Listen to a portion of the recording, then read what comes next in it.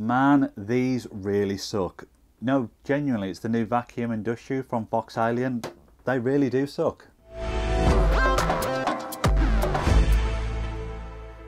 Hello and welcome to another episode. If you are new to the channel, definitely take a second to hit that subscribe button in the corner to get all the latest tips, tricks, tutorials, and of course reviews like we are doing today.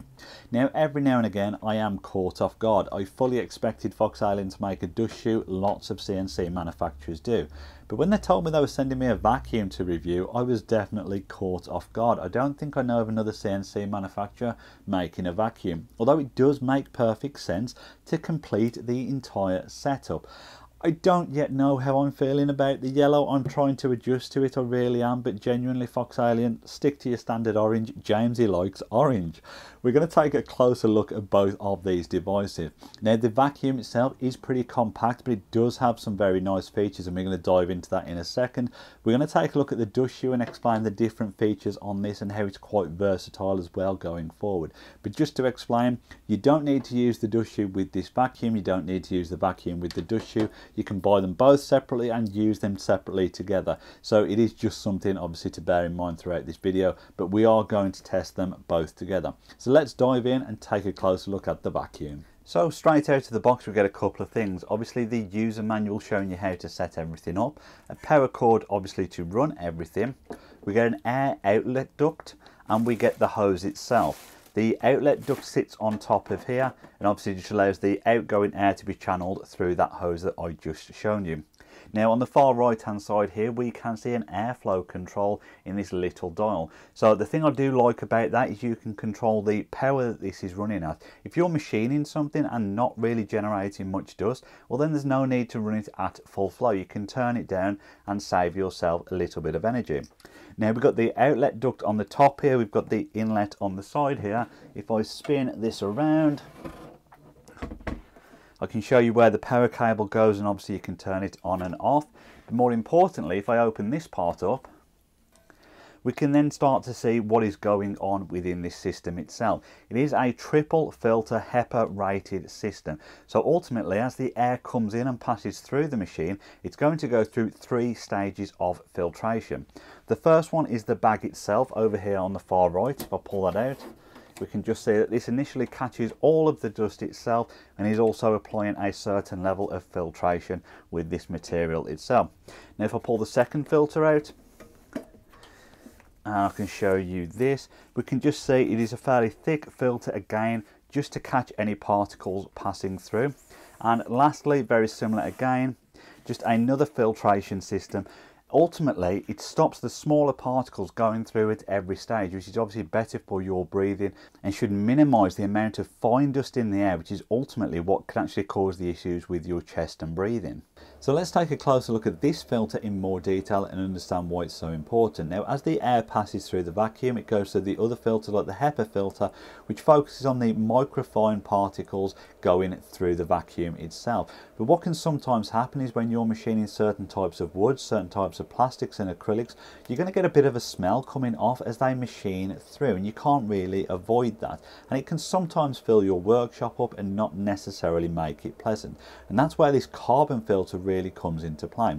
HEPA filters are quite common on other vacuums, carbon filters are quite rare and the reason they're important, as the air passes through these, each of these tiny holes is filled with bits of carbon and that captures the smell in the air. So ultimately, not only is the air going to be cleaner going through the HEPA filters, it's going to have less smell coming out the back of it because of this carbon filter, making your workspace, as I say, a nicer place to work and ultimately better air quality to breathe. And that is sort of what makes this smaller vacuum really good and really unique in that it's got a carbon filter as well as the HEPA filters. Now, as I just mentioned, it does have an intake and an outlet. The reason that this is important, it is dual purpose. You can use the intake obviously to suck things up if you are machining wood, for example, connect it to your dust shoe and it will pull all the dust chips in and ultimately then pump out clean air for your workshop. On the opposite end, you can use the outlet. For example, if you wanted to connect this to your laser as a way of having an air assist in place to blow the dirty air away, well, you can do exactly the same and connect the hose to the outlet, then to your air assist, and ultimately get cleaner engravings when using your laser. So before we start getting dust into the vacuum, I'm just going to do a suction test to see if it can pick this block of metal up running at full power. This is 4 inches by 2 inches by about 3 quarter inches deep, so it does have quite a bit of weight in it. Now obviously you never need to pick up something this heavy in reality, it is just a dust vacuum, but it's going to give me an indication of, as I say, how good the suction is. If it does pick it up, I will slowly turn the power down until it releases it, as I say, just as a test, see how good it is. Thank you.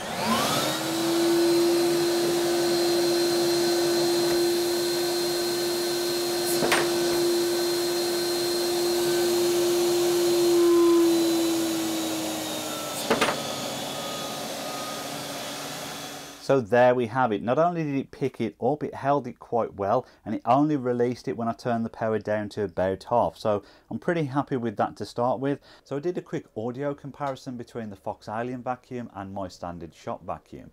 The Fox Alien vacuum is rated at 85 decibels, but even with the spindle running and cutting through oak, this was only averaging at 81 decibels in comparison to my shop vacuum, which was averaging 83 decibels, so a 2 decibel difference in favour of the Fox Alien. Now people rarely believe me when I say I have a small workshop. I can nearly touch both walls by putting my hands out like that. It is that small. So obviously using CNC machines in here creates a lot of dust. It gets in the air.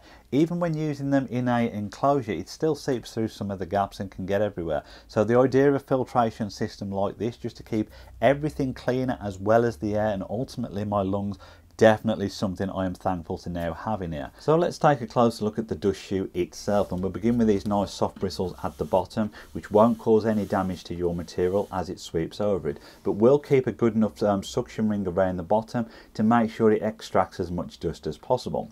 Now if we flip these over and take a closer look at the bristles we can hopefully just see there are actually two different lengths of bristles going on here.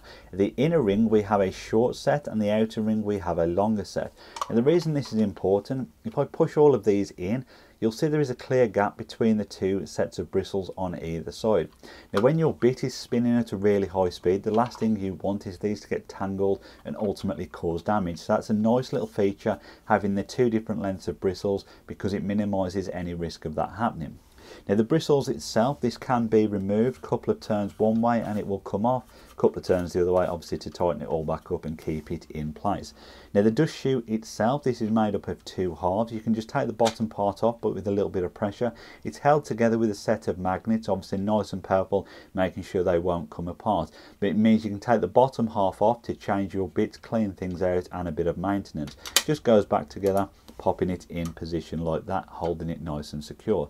Now the diameter of the standard holder is 69 millimeters. This will fit your DeWalt trim router, so that is one of the more common ones that is often used. However, you can drop the 65 millimeter diameter ring um, holder in and this will fit your average Makita, Bauer, Harbor Freight trim router which are often cheaper options that a lot of people are using now. It will also fit onto something like this 65 millimeter 1.5 kilowatt spindle that you can run with a VFD. So it will fit quite a few different things. But crucially as well, we can take that out and drop in the even smaller ring. Now this takes it down to 52 millimeters. This will fit most of the spindles that come with the machine as standard, like the 3, 4 and 501 watt that I have over here. So ultimately it means that when you get your machine, you can start with the standard spindle and this will fit it. And as you upgrade to something bigger and more powerful, well, you just swap it out to whatever you want. And it means that this dust chute grows with you. You don't need to replace it and put by another one as you get a bigger spindle. The hose holder itself, the inner diameter of this for those interested, I think is about 31, 32 millimeters. The outer diameter is about 37, 38, depending at which point you measure on the actual tapered um, cylinder itself. Fitting the dust chute is also super simple. I've got the 65mm reducer in here. We just slide it into place. It does come with an Allen key as well to tighten it up. So once you get it in place and it's deep enough on your spindle or your router, you just come in with the Allen key and give it a few turns to tighten it up and it will be in there and now held nice and secure. Now if you've seen my previous videos you will have seen this dust shoe used a few times, generally anywhere I've used the 65mm spindles or routers. It is a cheap 3D printed one, it's taken a bit of a battering as we can see here and instead of using bristles I put this plastic um, shredded skirt around the bottom to avoid the issue I mentioned earlier with the bristles touching the bit. Now this has done me absolutely fine, it's not perfect but it has got me through. But what is really inefficient about this particular type of design is as it hangs over the material when you're cutting close to the edge, instead of extracting the dust that is going on where it's being cut in the middle of this bigger port here, it ends up sucking clean air from underneath here straight up through the vacuum. So actually the second this hangs over the material it becomes really inefficient and ends up missing quite a bit of dust.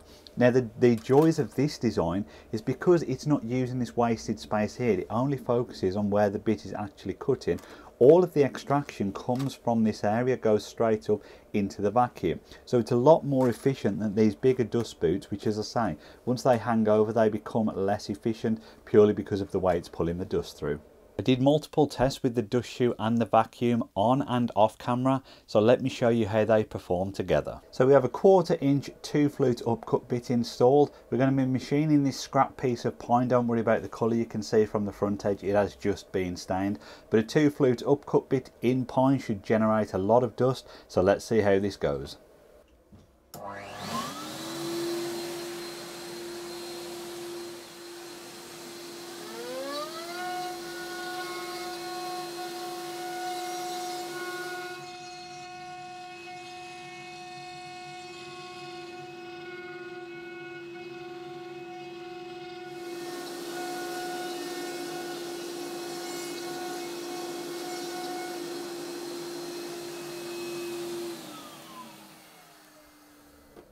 And there we have all the dust extracted. So that dust shoe and the vacuum has done a brilliant job. Nothing left in between all the letters and the tighter gaps. So yeah, very efficient. So the vacuum and the dust shoe performed perfectly. There wasn't any dust left on the job, which is obviously what we expect when investing in a setup like this. Now this wouldn't be a true review though if I didn't point out the one flaw that I actually noticed before we even began the job earlier on when we were taking a closer look at the vacuum. I kind of only have one attempt to do this on camera, so let's see how it goes. Well, obviously, once you have done your job, you are going to need to empty the vacuum at some point once it gets full. So when you come to open this, well, there is a little bit of dust here to begin with, not the end of the world, it is simply where it's seeped out of the side um, between the casing and this cover here. So again, not the end of the world as I just said. But when you do come to empty it, the bag slides out to the side and we can see straight away what happens when we pull this out. All the dust that we've just collected actually starts to fall out. So what you really need to do is when you come to empty this is tilt the machine up on its side and pull it out so the opening is obviously facing upwards and stops all the dust falling out.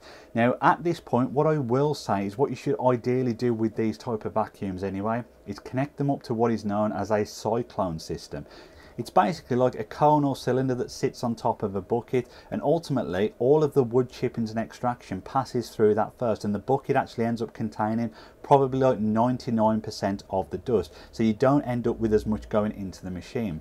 So ultimately after doing a job like we have just done there would hardly be anything inside of here and ultimately it makes the bag and the filters last longer because there is less waste material passing through them. So that would be the one piece of advice I would say is if you are buying a vacuum whether it's this one or another one anyway connect it up to a cyclone system it's just going to make everything last much longer and save you having to clean out the machine as often. And if there comes a time where you need to clean the inside of this out, because the opening is so wide, it is very easy to do so. You can get a brush in there, you can get any excess dust out, or you can do what I do, which is take it into the house and use the house vacuum on the vacuum to clean the vacuum. So I forgot to mention the stats at the start, so we'll quickly run through them now. Well, it's fitted with an 800 watt motor. Weight is 9.1 kilograms, so it is still liftable and portable. And the overall size is a 430 235 and 292 to the top of this little vent here obviously not including the hose sticking out. So obviously for that you're going to get a cleaner job at the end of it a cleaner machine at the end of it but most importantly cleaner air around you whilst you are working which is ultimately good for your lungs and therefore priceless. Now what is not priceless is this machine. It's hitting the market at $299. I can't lie, that is more expensive than I was expecting, especially when people are going to start comparing this to your average shop vac, which obviously are cheaper. But I have to be honest, upon having it in here, using it, seeing how good the filtration is on it, well, you know, as I say, clean air is priceless, and this obviously does a lot more than your average shop vac. Not only the different levels of filtration in it, but even the variable speed on the front, so you don't have to waste energy when you are doing lighter passing jobs such as 3D carving where obviously the finished job is quite light. So yeah, the dust shoe is coming in at $49, which I actually think is a bit of a bargain. Obviously this is going to start with you from a 52 millimeter router that comes with most machines up to the different trim routers and even the VFD spindle setup. So it's not like you need to keep upgrading this once you've bought it once. As I actually think that is a bit of a bargain given how many different devices that it does fit. Now obviously these may be on sale throughout the year, so if you are considering buying one, definitely check out the affiliate links in the description area below. They will always take you to the best price available and if I have any specific discount codes available they will also be listed next to those links as well so definitely check them out. I do hope you've enjoyed the video and let me know what your initial thoughts are from what you've seen in today's video in the comments section down below. Thank you all very much for watching. Final thanks as always goes to my patrons. If you want to get involved for one-to-one -one help, giveaways and early access to content, then definitely check out those patron links as well. I will see you all in the next episode.